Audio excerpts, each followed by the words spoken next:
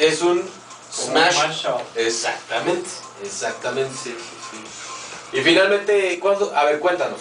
En cuestión de producción, esto obviamente lo hiciste, lo hiciste con, el, con el Ableton. ¿Cuánto, Ajá. ¿Cuánto tiempo te tardaste en hacerlo? Como una hora y media. Entonces lo grabé en vivo y todo. Hiciste Ah. un mashup. Para otros también, bueno, finalmente se le llama bootleg, pero bastante bueno, bastante bueno. Y algo importante de este set es que no nada más lo está, lo está mezclando, sino también estás incluyendo tracks como en este caso, este mashup tuyo.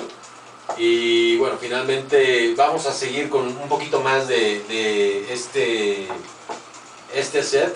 Pero bueno, ¿qué te parece si mientras invitas a toda la banda a que te escuche y que te llame por teléfono al 211-741, que, aquí, que es aquí en cabina? Sí, pues ya saben, márquenme. Y ya, pues, no sé, comenten qué tal les está pareciendo el set. Ajá. Este, pues no sé, es lo que, que nos importa.